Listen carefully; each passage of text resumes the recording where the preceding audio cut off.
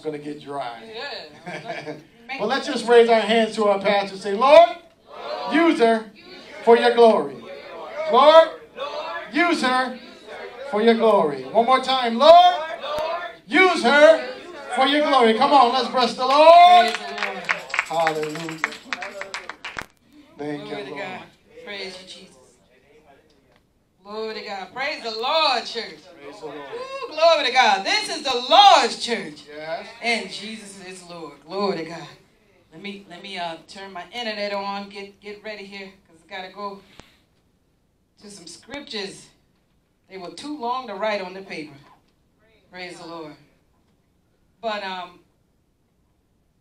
I was gonna address an issue that happened last Sunday. But you know what? I'm not gonna go there. I'm gonna I'm gonna talk about it just a little bit because um, I had sent out a victory text to everybody, a lot of people about my mom last Sunday.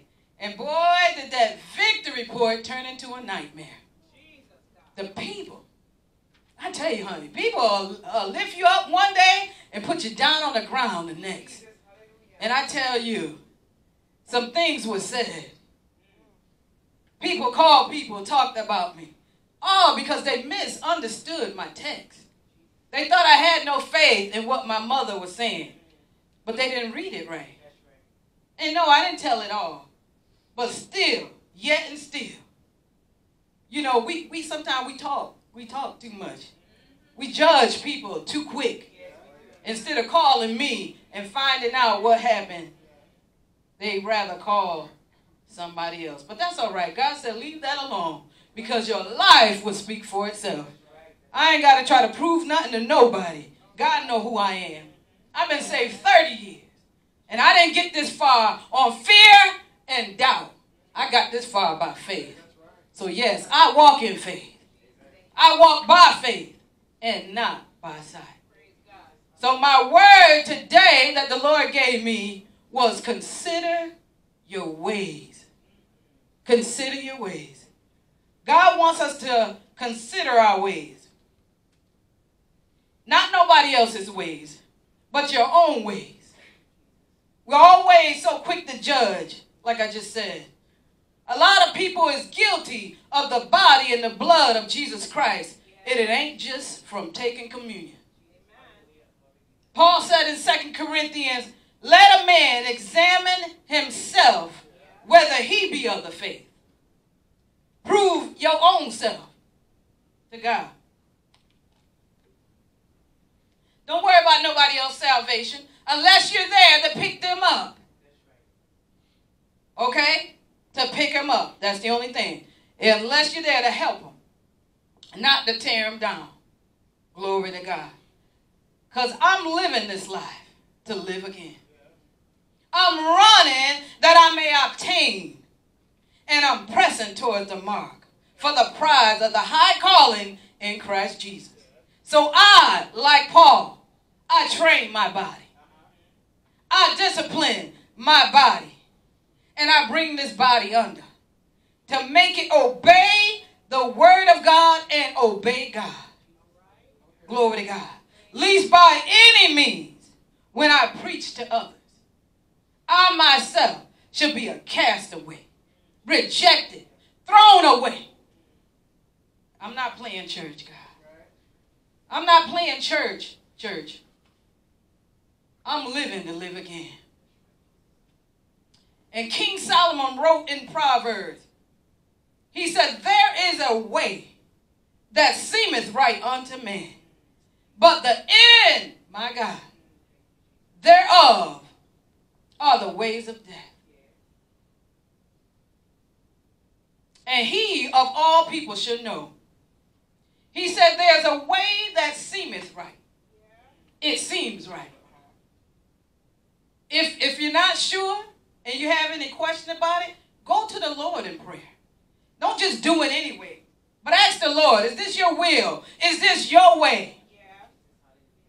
Because the end of what you're contemplating may lead to death. And you don't even know it. King Solomon was instructed, he was warned what would happen. His, his father, King David, was on his sick bed, on his deathbed. And he told him, Be strong, therefore, and show yourself a man. King Solomon was only a child when he began to reign as king. But his father was telling him, I know you're young, but you must grow up. It's time to grow up now. It's time to put away childish things. No more acting like a child. No more speaking like a child. Now you have become king. You must act like a king. You must speak like a king. And I'm going to tell you how to do it. Isn't that something? His father said, I'm going to tell you how to do it. Can you imagine, though? Solomon being so young. Yesterday he was playing outside, digging in the dirt with sticks with his friends. But today he must be a ruler of the kingdom. Glory to God. I know Solomon was scared. I know he was frightened. Glory to God. He knew his dad had a lot of responsibilities, and that was no job for a child. He knew he had big shoes to fill, and he knew his feet was too little to fill them. Glory to God. Too little to fit in my daddy's shoes. But David said, Don't worry. I'm going to tell you what to do.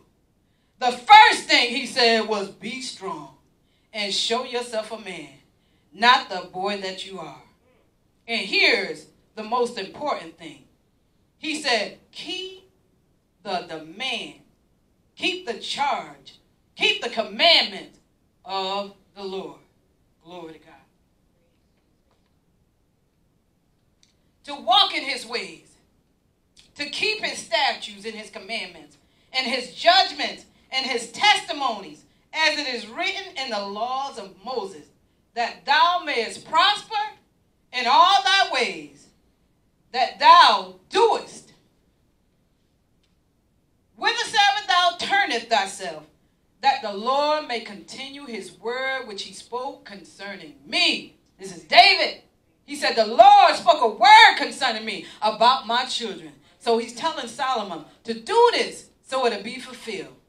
He said, Continue in the word which he spoke concerning me, saying, If thy children, this is the promise that God told David, if your children take heed to their ways. In other words, he's saying, Consider your ways. If they consider their ways to walk before me in truth with all their heart, with all their soul, there shall not fail thee a man on the throne of Israel. What he's saying is if they obey everything the Lord has told them, there will always be a king from the lineage of David. He won't allow another king to come in and take over. He won't allow another king to be ruler over the children of Israel, his chosen people. But all you have to do is be obedient. Serve me. Be obedient to the commandment. And the Lord appeared unto Solomon in a dream after he became king. And let's read that in 1 Kings chapter 3. Hallelujah.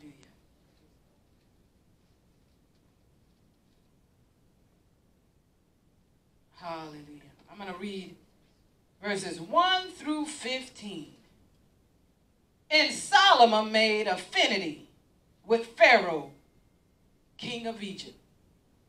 That means he made friends with him. He developed a relationship with Pharaoh, king of Egypt. And he took Pharaoh's daughter and brought her into the city of David until he had made an end of building his own house in the house of the Lord and the walls of Jerusalem round about. Meaning Pharaoh had gave him his daughter to to wed. He married Pharaoh's daughter. Only the people sacrificed in high places because there was no house built unto the name of the Lord until those days. And Solomon loved the Lord, walking in the statutes of David his father. Only he sacrificed and burnt incense in the high place. And the king went to Gibeon to sacrifice there. For that was the great high place. A thousand burnt incense did Solomon offer unto the Lord at the altar. In Gibeon, the Lord appeared unto Solomon in a dream by night. And God said, Ask what I shall give thee. Can you imagine that? The Lord coming to you and say, Ask what you will. Ask me what you want of me. And Solomon said, Thou hast shown unto thy servant David, my father, great mercy, according as he walked before thee in truth and in righteousness and in uprightness of the heart with thee. And thou hast kept for him this great kindness, that thou hast given him a son to sit on his throne as it is this day. And now, O Lord my God, thou hast made thy servant king instead of David my father. And I am but a little child. I know not how to go in and go out. I don't know the rules of being a king, what to do, what not to do. And thy servant is in the midst of thy people, which thou hast chosen, a great people, and cannot be numbered nor counted for multitudes. Meaning, here I am in the midst of all these people.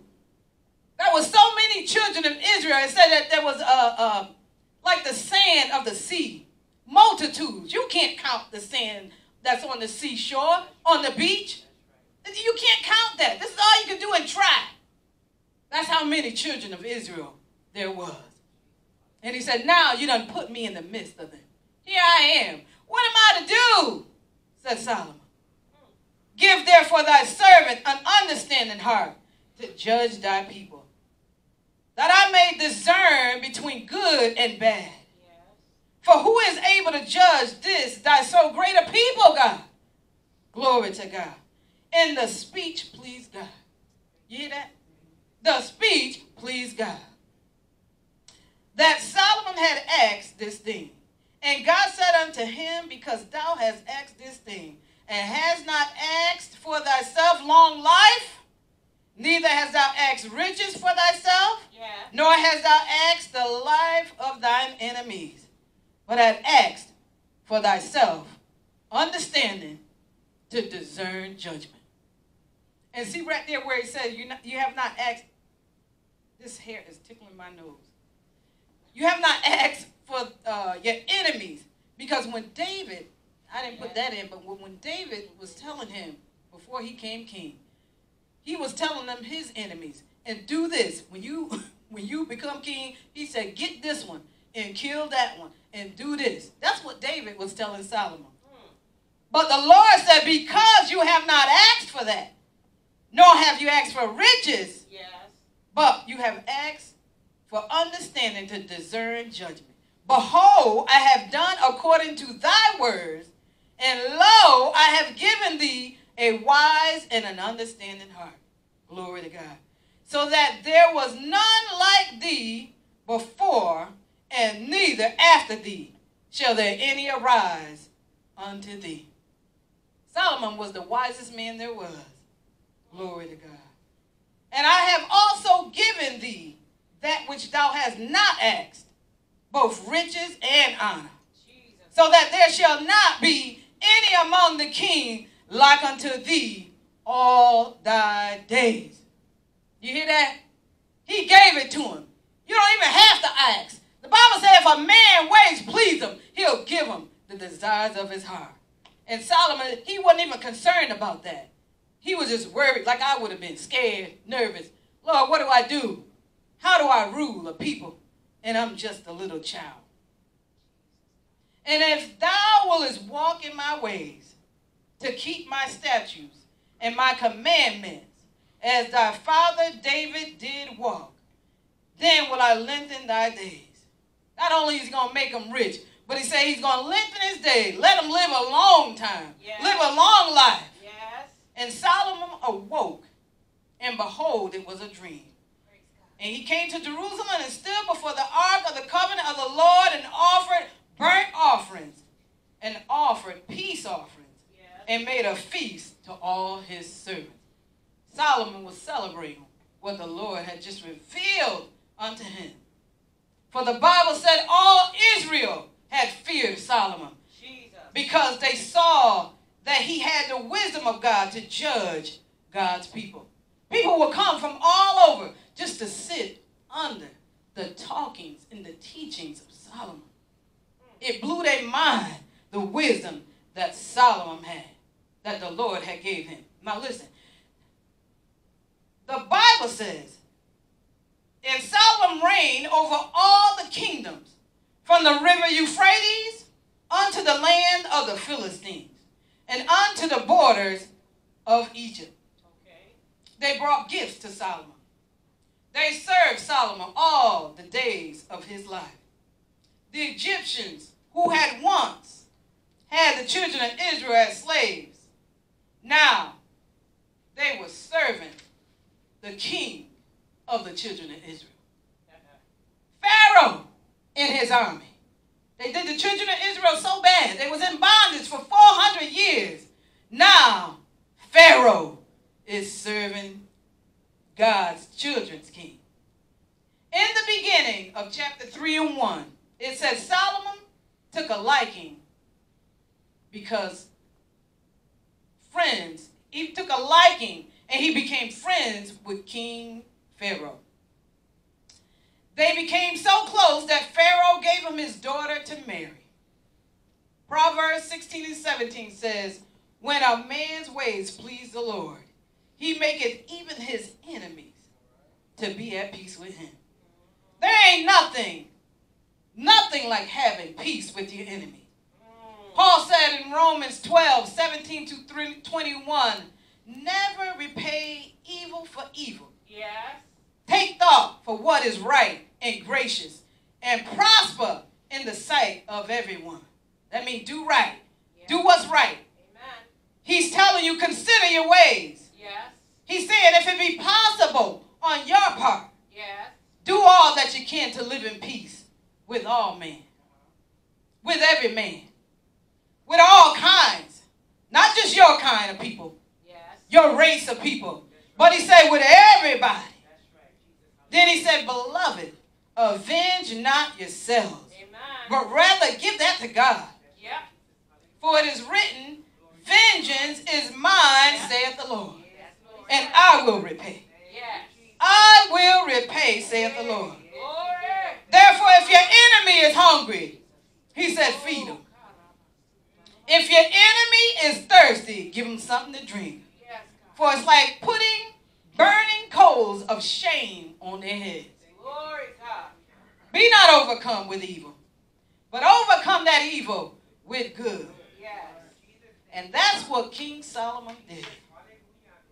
He befriended the enemies of Israel, Yes. the Philistines and the Egyptians. And they all lived in peace all the days of Solomon's reign. But when it came to the women, Lord have mercy, Solomon, in all his wisdom, could not, would not close the door to the love that he had for them strange women. Strange women, the Bible them. And God warned him over in First Kings. God had warned him. Let's read that. First Kings 9. Hallelujah. God had warned him. I'm going to read the Amplified Version. Verses 1 through 9. First Kings, chapter 9. Verse 1. Now it happened when Solomon had finished building the house of the Lord and the king's house and all else which he was pleased to do, that the Lord appeared unto Solomon a second time. The first time was the dream. Okay. Now he's visiting him again. Just as he had appeared unto him at Gibeon. And the Lord said unto him, I have heard your prayer and supplication, which you have made before me. I have consecrated this house which you have built by putting my name and my presence there forever. My eyes and my heart shall be there perpetually. As for you, because he heard about Solomon. As for you, live your life before me as David your father walked, in integrity of heart, in uprightness, in acting in accordance with everything that I have commanded you, and will keep my statutes and my precepts. Then will I establish the throne of your kingdom over Israel forever, just as I promised your father David, saying, You shall not be without a man descendant on the throne of Israel. But if you or your sons turn away from following me, and do not keep my commandments and my statutes, which I have set before you, but go and serve other gods and worship them, then will I cut off Israel from the land which I have given them, and I will cast out of my sight the house which I have consecrated for my name and my presence. Then Israel will become a proverb and a byword among all the people. This house will become a heap of ruins. Everyone who passes by will apply, appall, and sneer and say, Why has the Lord done such a thing to this land and to this house?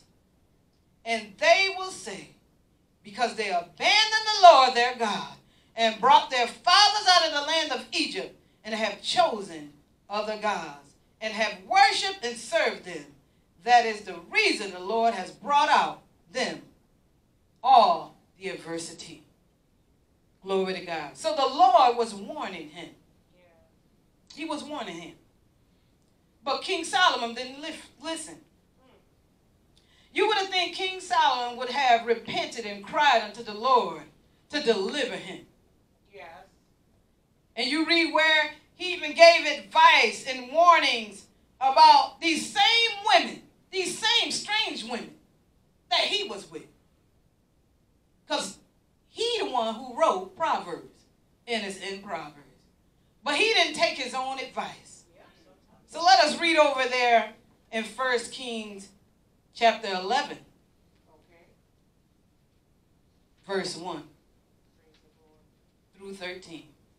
1 King chapter 11. Now Solomon loved many foreign women, among which the daughters of Pharaoh, the Moabites, the Ammonites, the Edomites. Lord, I didn't think I was going to read all this.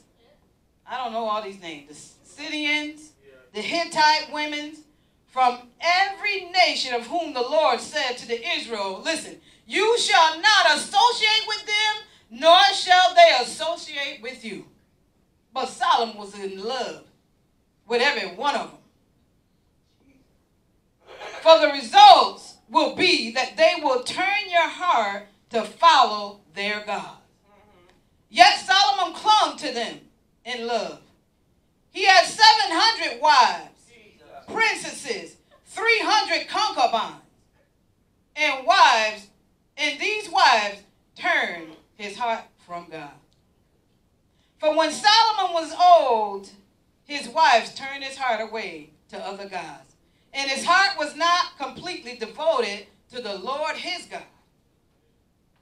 And was the heart, and was as was the heart of his father David. For Solomon went after, honey, help me out. This God, the fertility God. That's whatever the name was. God forgive me.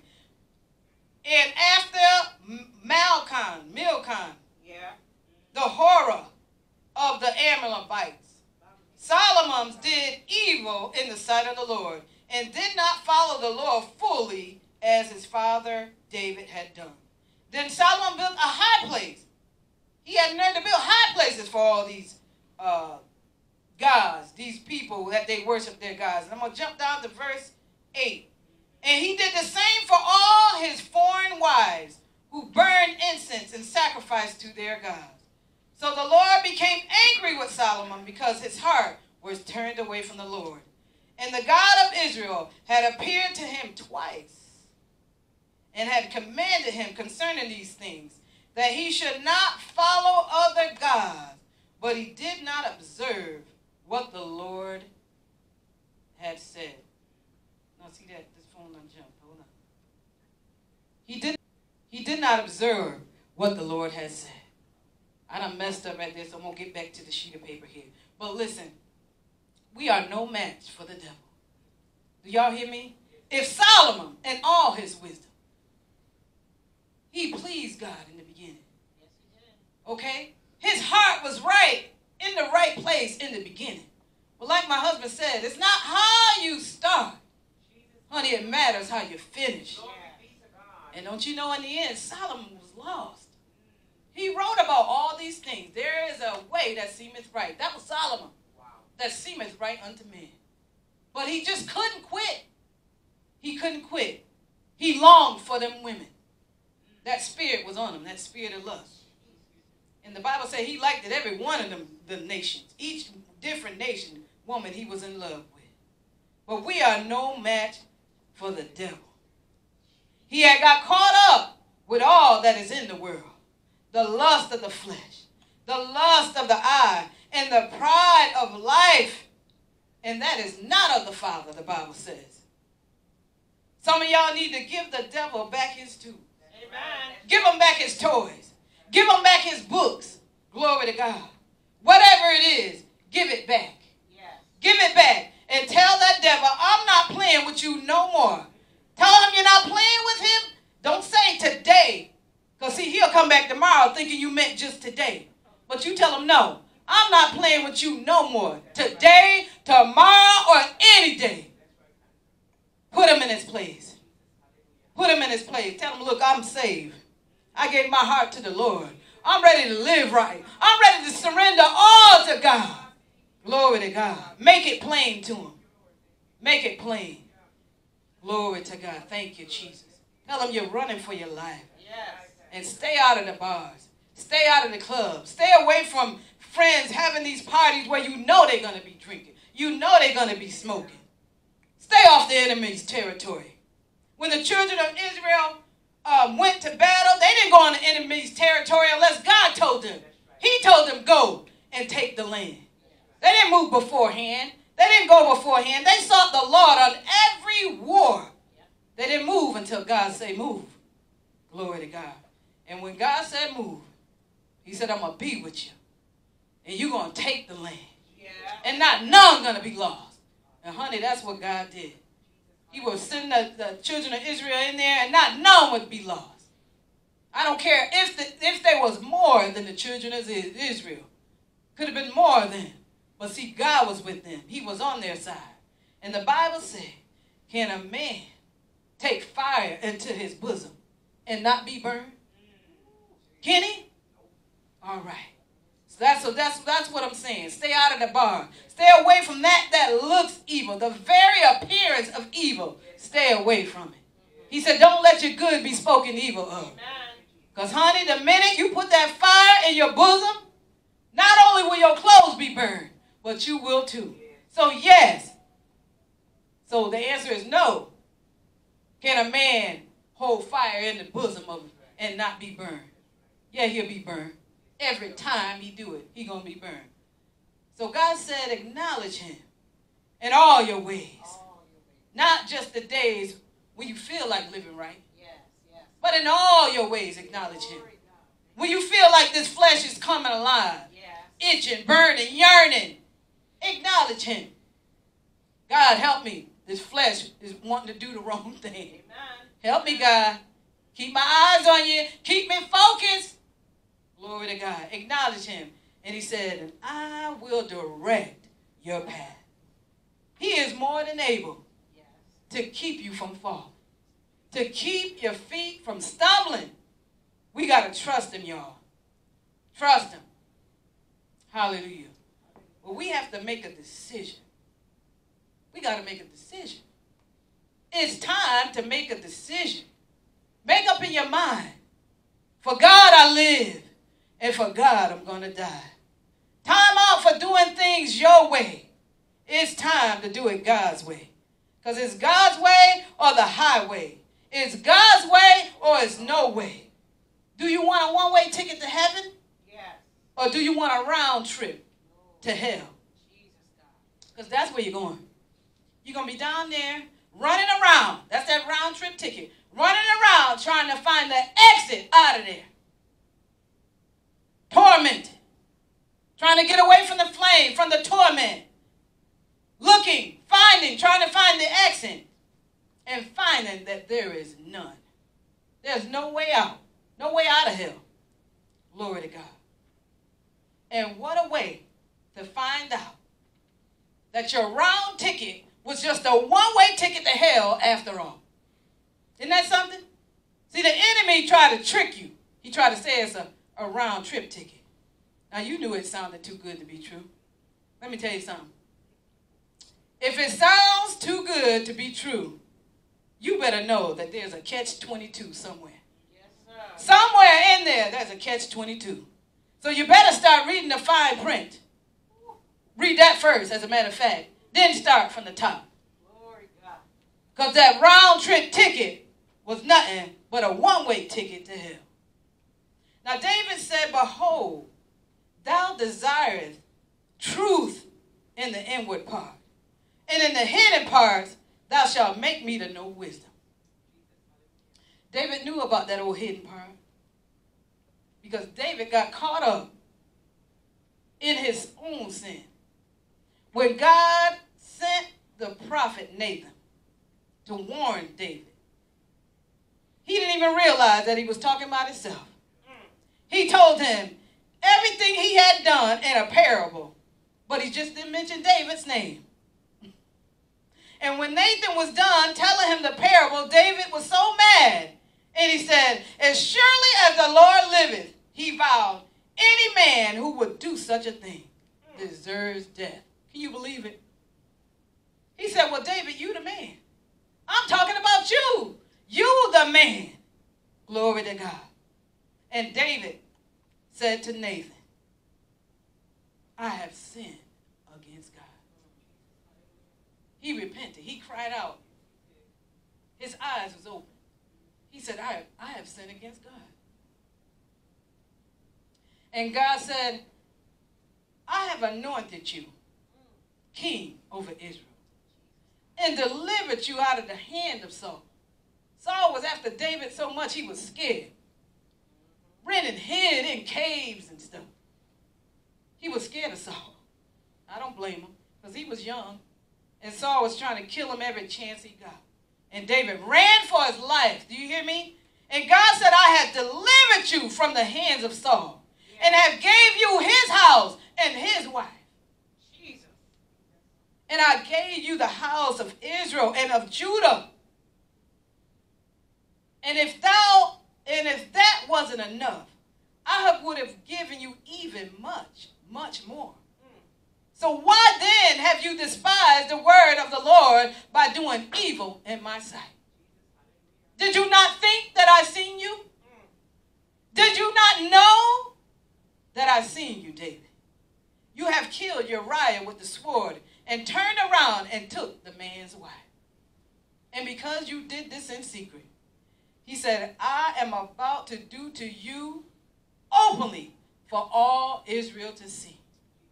My God. Then David realized, God said, if you did it unto the least of me, because see, Uriah was, I guess, poor, and David, that's what he's trying to uh, reference right here. David was the king, had everything. He had no business taking that man's wife. You had during 700 wives and concubines and all that. But no, there he go, going to steal this man's wife. And the Lord said, uh, because you've done this in secret, oh, honey, I'm about to whoop you openly in front of everybody. Glory to God.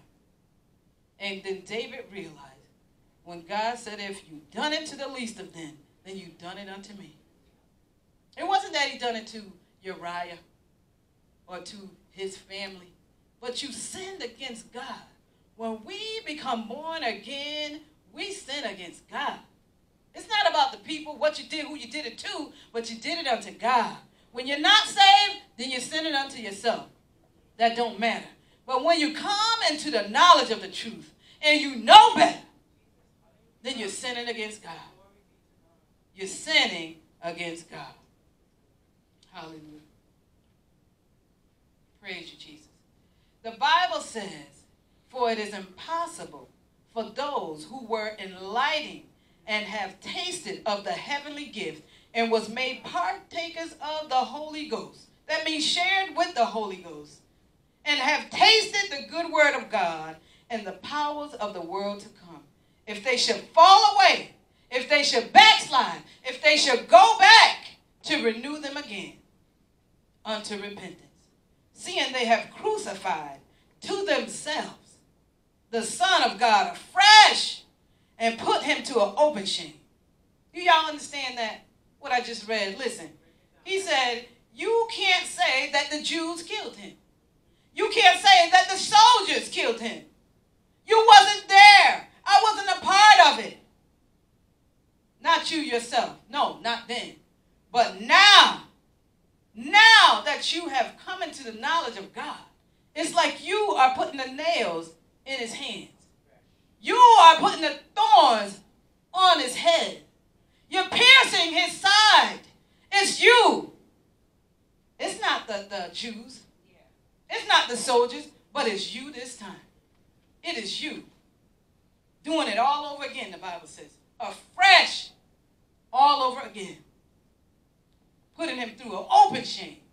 Praise you, Jesus. God desires truth in the inward part. But you have to desire it too. And that's what David did. He lost a lot. God told him, and that baby from the man's wife that you took shall surely die. The baby says, surely die. You ain't going to be playing house in my face with sin. But that baby going to die. And the Bible said, and God took him. And God told him that the baby would die. And just as sure as there's 24 hours in the day, that baby fell sick. And David prayed unto the Lord, and the Lord answered him now. And he fasted. And the Bible said he fell on the ground and he lay right there. When the elders, they tried to pick him up, try to get him in to come in and eat, said David wouldn't go. He laid there. He cried. He fasted. But the Lord didn't answer him. Then the child died after seven days. And David heard the servants over there whispering. So he turned unto them and he said, Is the baby dead? And they said, Yes, the baby dead. So you know what he did? He got up. The Bible said David got up, he washed his face, he anointed himself, and he changed his clothes. And he went into the house of the Lord and he worshiped God. And after he worshiped God, he went home, and the Bible said he ate. And his servant asked him, Why, when the baby was alive, you fasted and cried? Meaning, like, you could have spent time with him. Why didn't you come spend time with him? But you stayed there, you fasted, and you cried. But now that the baby is, is dead, he said, You're going to come and eat. And he said, As long as the child was alive, I fasted and I cried, hoping the Lord would have mercy on me, that he would show grace unto me. But now that the baby is dead, there's no need for me to fast. There's no need for me to cry. Because I can't bring him back. I can't bring him back. But one day, he said, I'll see him again. I will see him again. And the Bible said that David was a man after God's own heart. You know why? Because he realized that he had sinned against God. And he knew that God was angry and could have killed him. But this was his wake up call. And he repented and he sinned no more. He considered his ways and he served God with all his heart all the days of his life. So I ask you, consider your ways. Consider your lifestyle the way you're living? Is it pleasing unto God? Or is your lifestyle bringing shame at the mention of your name? Glory to God. Consider your ways. Consider your ways. And that's my message for today. Glory to God. Praise God. Consider your ways. Hallelujah. Glory to God. Thank you, Father. Let's stand on our feet praise the Lord. Praise you, Jesus. Hallelujah. Hallelujah. Thank you, Lord. You, Thank you, Lord. Thank you, Jesus. Thank you, Father. Consider your ways. Thank you. Solomon in all his wisdom. Praise you, Jesus. If he just took a time out and considered his ways. All he If he just considered his ways. Yes, yes. I told I tell Frederick a lot of times. I said, before you do something, I said, think about it. Count up the cost. Think about the consequences. Before you say something, think about it. Is it going to hurt me? Is it going to help me? Is it going to hurt somebody else? Is it going to help somebody else? Vice versa. But it's just part of life. And a lot of times before we make big decisions or we do things that um, we know biblically we shouldn't do, we have to take a time out and consider how detrimental it could be to our to our life, to the life of other people. So I'm just wondering, and I don't do this a lot, but I'm just wondering if somebody says, I want to accept Jesus Christ as my Lord and Savior. Somebody would say, I want to consider my ways today because the way I've been living, the way that seemeth right unto me, was not right at all. I'm just wondering. The altar is open. Knowing that we all have to one day, we have to make that decision. And before we close our eyes,